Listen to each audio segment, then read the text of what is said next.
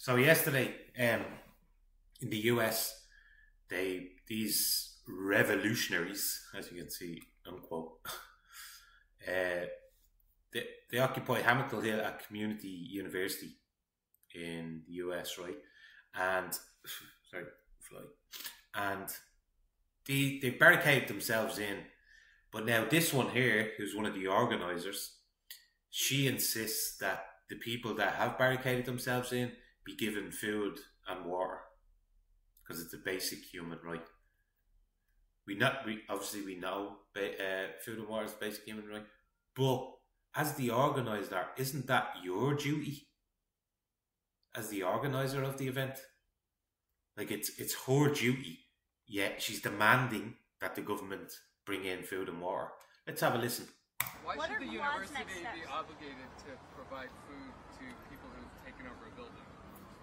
Uh, good question. Well, good question. Why should the government feel obligated to feed and give them water the people that have purposely overtaken a building and occupied a building? Why should the government be in, uh, feel the need to feed them and give them drinks? Well, for, first of all, we're saying that they're obligated to provide food to students who pay for a meal plan here. Right. Fair point. It's because the the students that are going there have already paid for the plan, so they deserve to be fed. But you mentioned that there was a request to, that food and water be brought in, unless I misunderstood. To allow it to be brought in. I mean, well, I guess it's ultimately a question of what kind of community and obligation Columbia feels it has to its students. So, so see what she did there? She passed all responsibility onto Columbia University to do it. It's past the book. The, all these people are, just love passing the book. You know, they're full of it. But then when it comes to like big details, like, so you want us, you want the government, the American government, to bring in food and water for these people, even though they took over the building. At first, it was no, well, these students paid, so they paid for a food plan so Columbia University should be allowing it. But then it switched to the other thing, which is a basic human right. You know, they're just they're just full of it, full of hot air. Um, do you want students to die of dehydration and starvation, or get severely ill, even if they disagree with you? Well, go home then. Get out of university and let let the other students who want to learn learn instead of being used as a propaganda? If the answer is no, then you should allow basic. I mean, it's crazy to say because we're on an Ivy League campus, but this is like basic humanitarian aid we're asking for. So that's twice she said basic humanitarian aid. That's to, to that's to this when she says it the second time, it's to add strength to our argument. That's why she said it twice. It's to add strength and back up our argument. But it's all that's just pure scutter with these people. Or like, could people please have a glass of water? But they, they, they did put themselves in that very deliberately in that. So they that's a, that's who I must look up who this guy is asking the questions because that's a really good question. But they, they put themselves in that situation. So why it's like why should the world facilitate if they're the ones putting themselves in that situation? Plus, this lady, as the organizer, should have been should have provided food and water for them. What is this thing in the background like? Like what's that? Heavy Stevens, what that was his spouse. Anyways, back here. Situation in that position. So it, it seems like you're sort of saying, we want to be revolutionaries. We want to take over this building. Now, would you please bring us food and water? it's brilliant. We're taking over this building. We want to be revolutionaries, unquote but please provide us with food and water. it's crazy.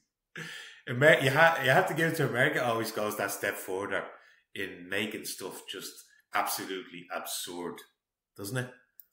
Nobody's asking them to bring anything. Every we're we're asking them to not violently stop us from bringing in. Ah, so they're not asking for it. They're just please don't violently purpose purposely use that word she did please don't violently, violently interrupt the the food being brought in. It's like it's just and basic humanitarian aid. They're stopping the third time basic humanitarian aid. Third time. delivery of food. I we are looking for a commitment from them that they will not stop Oh, it but violently. they haven't stopped it. We, well, I don't. I'm not. I don't know to what extent it. I don't know.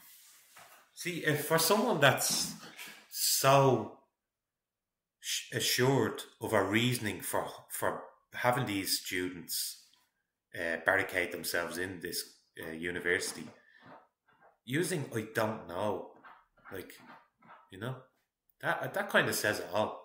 Useful idiot, this one. But this guy here who who shared this video, Dr. Ellie Davis, shout out to you, man. Sorry about that. That might wreck his head. That phone. Uh, shout out to you. Uh, give him a follow because he, he's sharing some true stuff.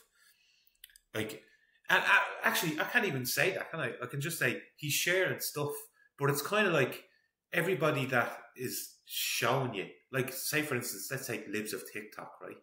That girl gets blasted out of it, but she's not even commenting on the videos. Like, see the way I comment over these? She doesn't do any of that. She just shows you their video and then it's people commenting, having like saying their opinion about whatever these uh, Rainbow Squad people are doing in the videos.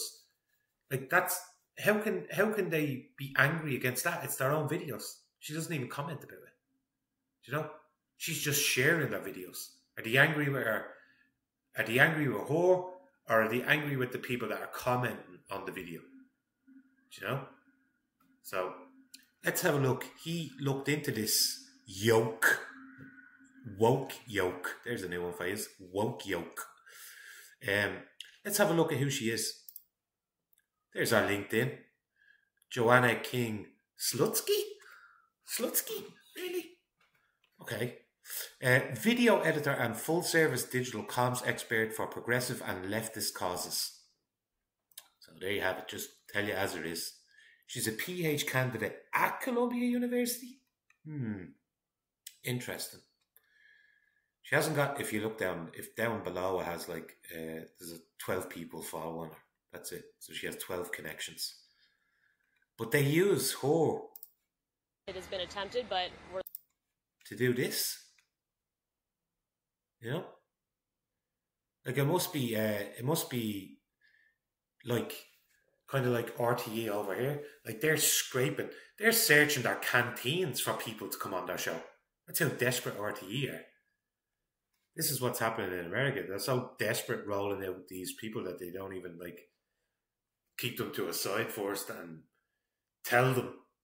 You know, they're not they're not informed enough. This woman just tried backing her argument up three times. Three times she said that. Basic human rights. Basic human rights for what? For people that uh, occupy a building and and stop it, stop other students from learning, as long as they're in there. Do you know? It's no wonder the American police. Sorry about the phone. It's no wonder the American police reacted the way they did to this. Go and look at it on Twitter. People are saying, "Oh, the police overreacted," and they're trying to spin it like you know one-sided, as if like that's what happens if you stand up for Palestine in America. You know this type of way when we all know what they're doing and they use fools like this thing. Woke yoke.